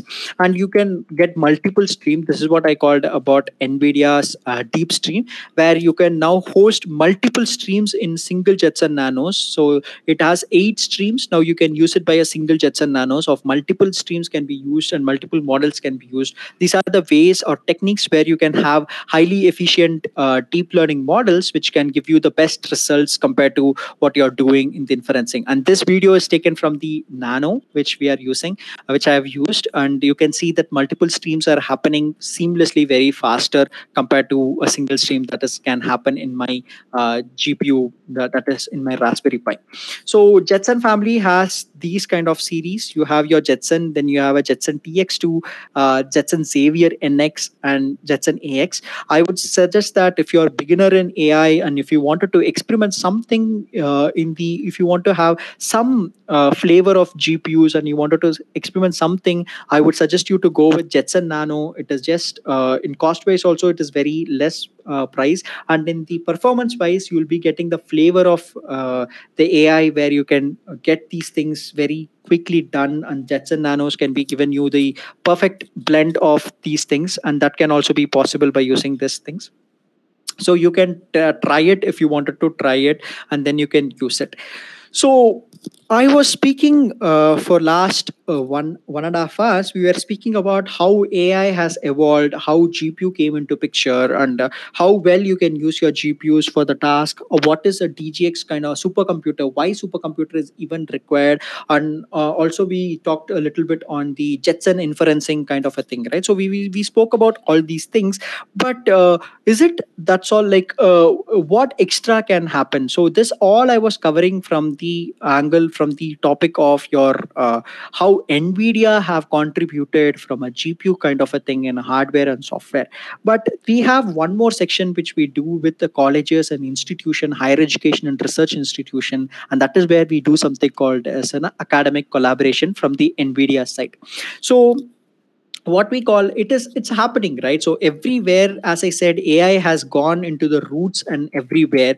And we want to help the community by collaborating with uh, the faculties in setting up the ai center of excellence in the institutions where with the ai gpus from nvidia gpus kind of a thing and we collaborate with them. Because uh, these are the, what we mean by center of excellence is so we have a partnership a collaboration with the certain universities and where we jointly address the students in generating or uh, in working in the in the process of uh, creating uh, AI courses, course curriculum, and all those things, and creating an infra kind of a thing, so that the students who are in their first year, second year, third year, or fourth year, or a PhD students or MTech students get the flavor of what industry is looking forward. Because we come from industry and we know how well this has been used. So, uh, so what is industry is looking forward is where we are coming from this architecture wise, and we do this kind of collaboration, and we have done in many. Uh, collaboration many places. That is uh, in many universities we have done and at the end of the slide i'll go go through something and all these collaborations we have done. And specifically we have something called NVIDIA Deep Learning Institute. And what we mean by NVIDIA Deep Learning Institute, it is a, uh, it is an online courses which we uh, offer to the people outside, where which we target on the specific divisions, that is from the fundamentals of deep learning to the specific like in a computer uh, computing fundamentals or the data science specific things or very specific tasks like for AI for anomaly detection, autonomous vehicle, healthcare or robotics kind of a thing is where we cover in by using in our deep learning institute kind of a thing. So when we go to some institutions like you and we say that nvidia is doing an academic collaboration and what we actually mean is we wanted to enhancing the dl research projects and or the key focusing AI as this in the institution. We are facilitating or co-inventing with the industries. You work with our team, that is NVIDIA team, and how well your students can do workshops we conduct and all those things. We have, as I said, we have this deep learning institute. And most importantly, you will get access to our DLI ambassador program. So what is this DLI ambassador program is? NVIDIA NVIDIA has something called this Deep Learning Institute Ambassador Program, where the the criteria for it is to be you should be a teaching uh, person that is you have to be a professor assistant professor and all those things. So now you uh, write back to us telling that you're capable of teaching the programs which nvidia is having. So if you're capable of writing uh, teaching the uh, ai programs or machine learning or deep learning kind of a courses so you can write back to us where we we certify you or we will have in certain exams and based on merit you get certified as a dli ambassador and having this DLI ambassador, what is a good thing you're going to have is you're going to get all the lecture materials and presentation and exercise lab and quiz and all those things as a free of cost where you can take it to your students and you can start teaching. And also you will be certified as a DLI ambassador from NVIDIA side. And then that process also can happen and all those things can happen very well. And also we um, uh, when we collaborate with the institutions like this we we uh, what kind of collaboration we look at the academics institution is by facilitating their lab on the need basis and we will assign the lead faculties academic researchers we will teach the researchers on how the industry is looking forward. Because we are not going to teach the professors about artificial intelligence or a neural network whereas we teach the professors on the SDKs, which we are talking about, how well you can use the GPUs, how well you can write your code by using the GPUs, so that your students who's going to get engaged with you in your class or in this uh, uh, this kind of a collaboration activities will be able to know what industry is looking towards. And then we goes out the placement will be very easier compared to what is having right now. Because right now everyone have started to use ai right? So those kind of things can be done and what are the deliverables we can uh, do from nvidia is you can brand you can brand nvidia name for your center. You can use us as an official partner and you can have your logo printed with the, you can have, use our logo for this nvidia thing. And we will set up the required technologies from the and facilitate the technologies for a gpu docker kubernetes and all those things hpc kind of an architecture. And we shall uh, facilitate the training of the new GPU technologies, tools, which is getting updated. We will conduct the workshops for you. We will we will have an hands-on uh, research workshops and all those things. And also we collaborate for the research papers where we collaborate with the professors in solving the uh, specific problem set, and we give you exposed to our uh, research communities and we also put you across our research places where you can present your papers and do all those things and all those things can happen with the collaboration. Now the question comes is why do colleges need, should go for academic collaboration right? So the, the answer for this what i would give you is all certification courses which is in the online platform let's say udemy coursera and all those things they are only to a maximum intermediate level right? So because they they they, they teach okay what is artificial intelligence and how to code in uh, and everything. But that's no longer a skill right? People are looking for much more important skills than plainly knowing what is an artificial intelligence. There is no industry standard practice is there. So by collaborating with us we give you the industry standard practices. We will teach you how to do this because since we come from the industry and we are the industry leaders. And this collaboration not only help the students in understanding the theory but also it helps giving them the exposure to a gpu supercomputer world right? So research guidance industry standard contents and all the projects assistance will be taken care from the nvidia. And the course itself will be taught by nvidia and the uh, experts from NVIDIA and Vintech in the data science domain, machine learning, engineering, robotics, and GPU computing and computer computer science kind of a things where we teach people how to use their gpus or we teach people how to do the robotics kind of a thing what industry is looking for. That's what we are doing.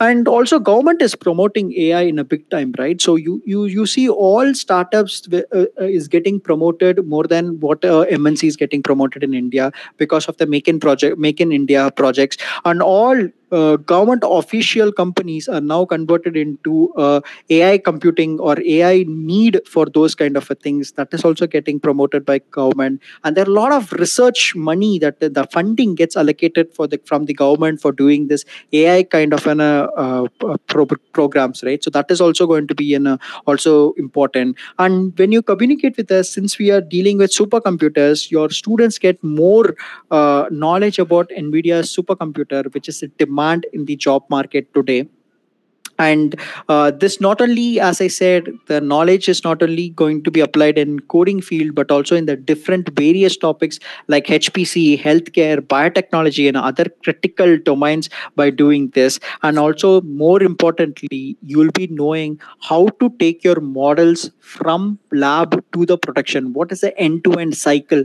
How an industry workflows work is going to be the skills. Because these are the collaborations which we are looking forward to have these these things and i'll just quickly run over the collaborations which we have and then we can break for uh, q&a so this is one collaboration which we recently have done from with the central uh, electronics and engineering research institution CEERI and nvidia. We have done for their uh, hpc kind of a setup and artificial intelligence kind of a lab. And then we have it for iit jodhpur where we have uh, signed up for setting up their facilities for by using the supercomputer networks and all those things.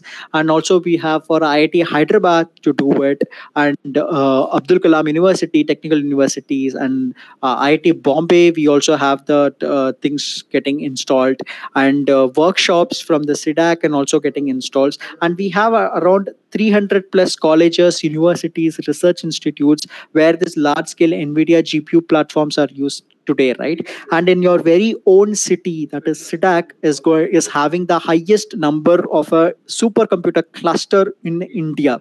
Because it is having 42 supercomputers which is hosted in your CDAC and many more to come for facilitating for all the research activities across the India. So these kind of uh, collaboration we do it and also we have done collaboration with uh, uh, in in Pune itself we have done collaboration with uh, Symbiosis uh, University uh, COEP University and all, we have done the collaboration from the department level. So department level collaborations or the institution level collaborations can happen, or even in the individual professor level collaborations also. If uh, all this comes in the merit right so you you send a request and then we evaluate and for research collaborations that all happens in the merit so these are the different collaborations which we have made in the past where we have helped the students we have helped the organizations to grow their journey in ai and help them to nurture them in from the industry point of view how you wanted to go and all those things.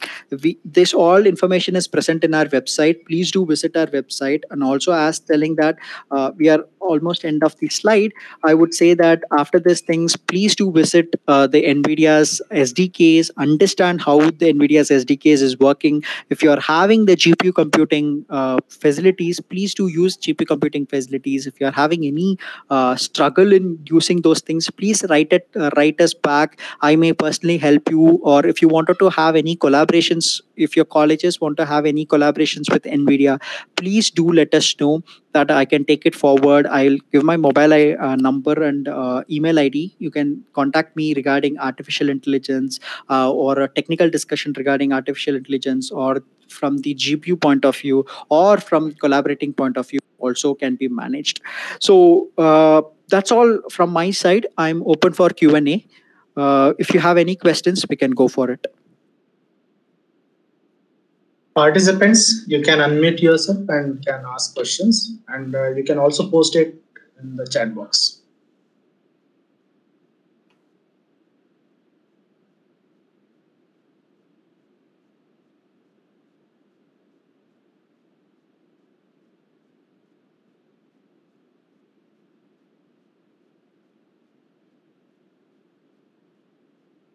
Uh, Hariharan sir, there's one question in the chat box. Uh, yeah please Sir Kiran Kamble is asking. Hmm? We have V100 system. Uh, is possible to replace with DGX100? Oh, okay uh, so v100 systems i want to understand whether it is in your servers or how it is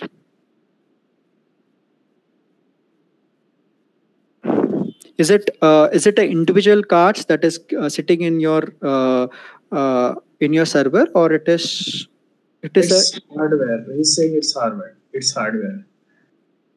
Uh, so what I'm saying here is uh, there is DGX uh, comes in the two form factors. So the DGX was coming from V100 point of view, and DGX can comes from A100 point of view. Yes, of course, you can replace your cards with your A100 uh, kind of cards, or if you are having a server kind of an architecture, you can get an individual cards and you can put it. Or if you're looking for a DGX kind of a thing, maybe you can uh, replace it by using uh, getting a DGX supercomputer itself. So maybe if you can send me few details about your existing setup uh, i could help you better maybe you can forward it to the mail id which i have uh, shown you in the screen i can uh, i can i can help you better in knowing your architecture So one more question is there. Uh, Mhm. If I want to implement an image processing project, which tool should I prefer? By Okay. Okay uh, tools in the sense he's i think so uh, I, I, he- are you referring to the frameworks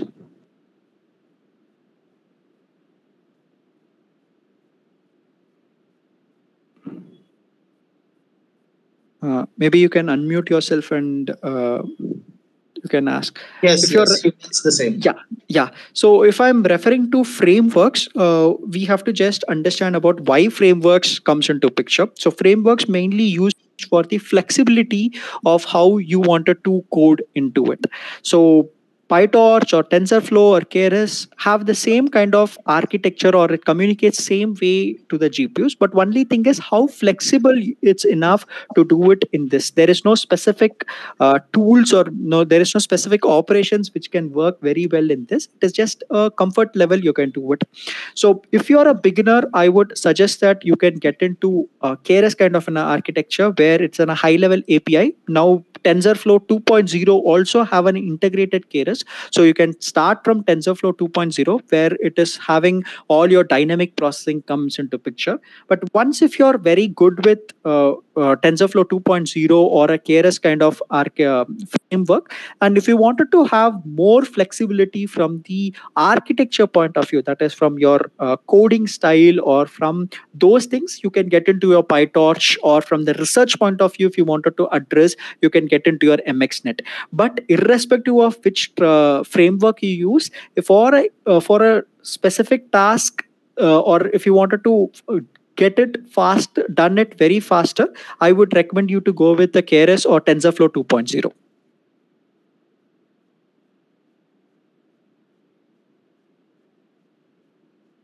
Hello. Yes, sir. Yeah, sir, thanks for the comprehensive overview on uh, the, the current technologies, the future technologies. Sir, actually, I am from mechanical background, and in our, our college is one of the premier colleges, and we are setting up a good robotics lab. Okay. So, and also regarding, uh, I would like to work on some AI applications. So, I uh, I would like to connect to you later for any technical uh, help or co- possible collaborations.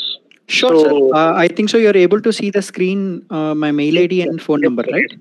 Yeah, Yeah. I've taken it. Yeah, sir. Please uh, contact me. Uh, uh, you can uh, write back to me in this mail ID, or even you can uh, send me a WhatsApp message in this phone number, so we can get connected. And uh, of course, uh, I can I can see what help I can do for you, sir. No problem. Thank you very much, sir. Thank you, sir. Thank you. There's one more question, so Mhm. uh, from Kiran Kamble. How you compare NVIDIA SDKs with Google Colab? Okay. So first of all, we need to understand what we mean by uh, Google Colab. So Google Colab is just an infrastructure provider where it gives you a infrastructure to work with. So uh, the most of the people will not have a GPUs on their own. They will be having only CPU kind of a thing. That is why Google came forward to create an infrastructure which is of free. And inside the uh, Google Colab, you have a two kinds of GPUs you'll be getting. One is T4 and one is K8. Both are NVIDIA's uh, cards only. And what is NVIDIA SDK is means is NVIDIA SDK is something a software development kits by which you can write your code in a very good manner. Google Colab is just a platform. Just just like you're having one gpu in let's say you're getting a new laptop and which is going to have a nvidia gpu it is like just getting one laptop in the cloud architecture and which is going to have an nvidia gpus on top of that you can actually use the nvidia sdks and do it. It is not either or question. It is a joint question. Since you're already using a google colab maybe you can use nvidia sdks and start working on the uh, google colab itself There's one more question in the chat uh, by Yeah.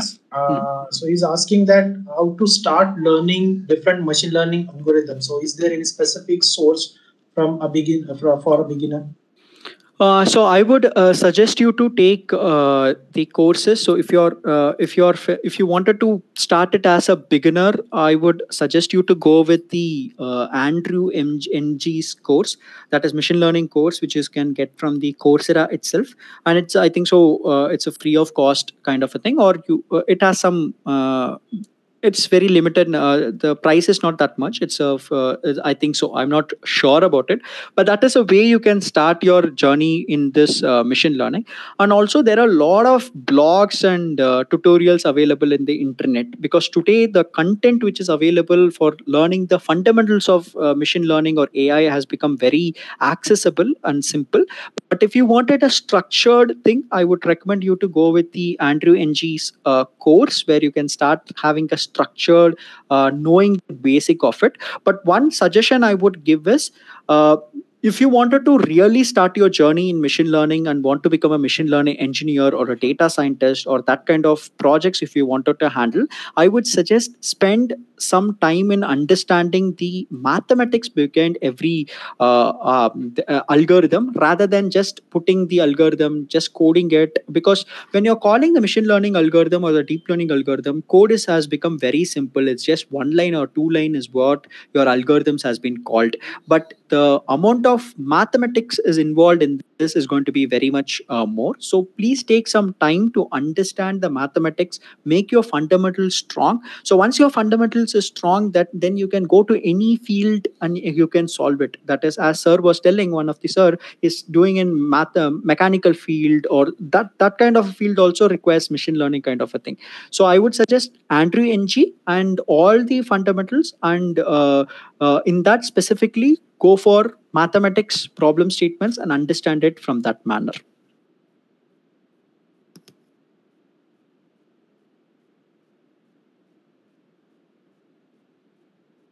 Participants, any more questions?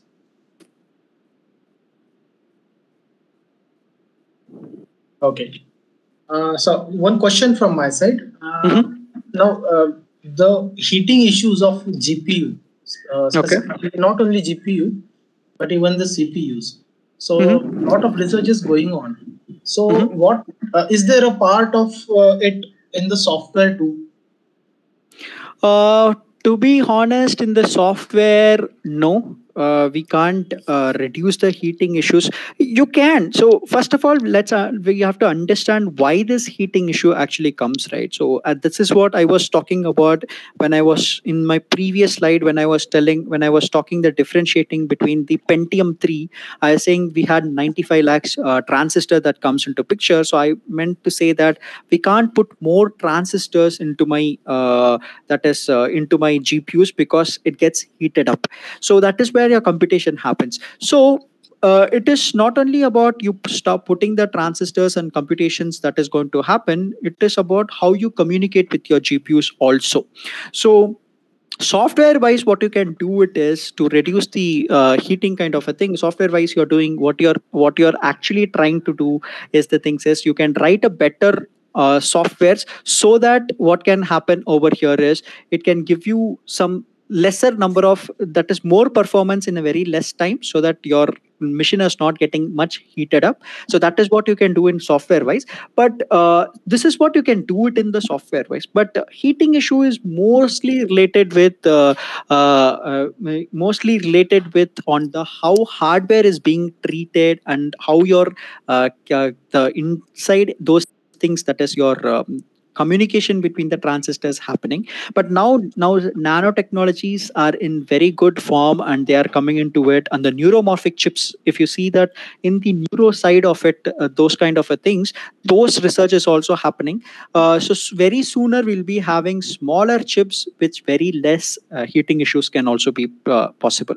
But for your question yes you can write few algorithms in a certain way that will not get heated up fastly. That is algorithm. But that is not that's not going to solve 100% of problems Okay, thank you. Yes, participants, any more questions? Yes, sir. I have one question. Myself, uh, Professor Nitin Pise. Uh, so Yes, I'm sir. working in MIT World Peace University. So uh, can I know what are the approximate cost for uh, setting up uh, deep learning training institute, uh, say for a batch of 20 students? Uh, I would actually, uh, uh, commercial wise, I would uh, like uh, th- that depends on how what is the uh, mm, this one you're going to look into it, right? So I can answer this question very specifically if you can put me a mail or we can have a communication in the in the phone or something, because I need to understand. much more requirement from your side and then i can give you some specific numbers it's not about numbers it's about what kind of uh, technologies you're looking for how much gpus you're looking for how the, how the communication should happen those things and all we can discuss so maybe if you can call me uh, to the number which i showed you uh, and if you or if you can drop a message of your mail id i can send you the cost approximation for uh, setting up a lab kind of a thing Uh, okay, uh, that's very good. And regarding Jetson, so what type of applications we can run on Jetson uh, board? Okay, so Jetson, as I said, it's an uh, inferencing uh, board. So what I mean by inferencing is after you trained your model and if you wanted to inference, you wanted to test it or put it in the production, that is where your uh, Jetson comes into picture. So presently, what we do, uh, let's say a student is doing a project in artificial intelligence, what he does is he does the training in his laptop and he shows the output also in his laptop. But in a industry way that is not a that's not a method because i can't use my system to show me the show the output or put a inferencing in the same system. So that's where i go with the smaller uh, gpu kind of a thing where a jetson. On the application side what we can do is whatever you can uh, you have trained it in a deep learning that is a computer vision nlp or uh, reinforcement learning robotics everything can be or medical imaging everything that applications can be ported into the jetson so jetson is nothing but a compute facility but which is in the small form factor mainly used for your inferencing kind of a thing Okay, thank you, sir. okay so thank you Okay, so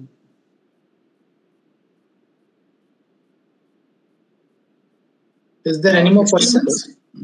Yeah. Yeah, go on. Uh, so yeah, nice, uh, nice in, uh, session. Actually, it was. Uh, so my question was, uh, so you told about that uh, industrial I means industry academic uh, apps. uh, So you will provide a setup for lab and all. So so are you, so will you provide the virtual kind of the cloud based the test beds kind of things? Uh, we don't provide cloud-based systems. Yeah, cost effective also matters. That's what I'm asking. Okay, so actually, we don't provide the uh, cloud-based setup kind of a thing because uh, we don't have we don't have a private cloud for us. Uh, so NVIDIA GPU Cloud, as I mentioned, it is not a cloud; it's a repository. So we don't provide a cloud-based setup. But maybe uh, mm, cost-wise, we can see if your if your research is very good and those kind of a things, we can see if we can sponsor or we can co-sponsor. That is, we can give you the co-funding for your uh, GPUs also. That can be possible but since we don't have a cloud access uh, we don't have a cloud company uh, at our thing we we don't uh, actually give the cloud access to it so uh, maybe we can help you with the cards uh, so that we can do it but not a cloud kind of a thing okay, so Okay, thank you.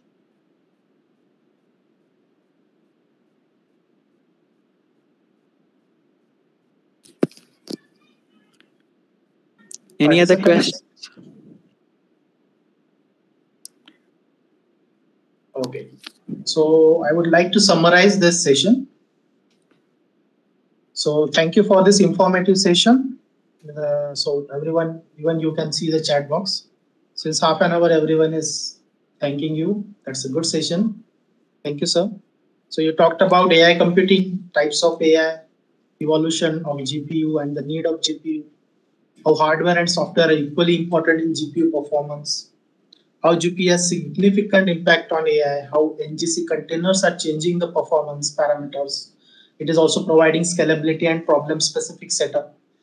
How end-to-end deep learning models are there and how they are evolving day by day. How different mo- models are created for different set of work and how use cases, different use cases can be solved using different setup of GPUs. So once again, I would like to thank you, sir, for enlightening the crowd. I hope everyone enjoyed the session and found it innovative. And with this, I conclude this session, today's last session. Povita ma'am, over to you. Uh, yeah, Vinay sir, I think Bhavita madam, yeah, she is there. Uh, thank you, Hariharan sir. This uh, session was really very nice. And also, we are having the Tesla V100 in uh, our Center of Excellence in Machine Learning and Deep Learnings. So Great. we need your help. sure sir sure that. Yes, yes. So definitely we'll uh, uh, we'll call you. We'll interact later on. Also, we'll have one meeting and we'll discuss that one. Okay. Okay, sir. Sure, I will. I'll do that. Okay. Thank you so much, crowd. Thank you so much, audience, for this, and thank you so much, uh, VIT and Professor Pavita for uh, having me. And it was a great session. Thank you so much. And any help required in the future, please let me know. I'm available. Thank you so much. Yes. Thank Thank, you. you. Thank you, sir. Thank you. Thank you. Thank you, sir. Thank you very much, sir. Hariharan, sir. Thank you. Thank you. Participants, let us join tomorrow at 9.45 a.m. Yes. Yeah. Session. Okay. Uh, Madam, shall I uh, close the session? Yes, and uh.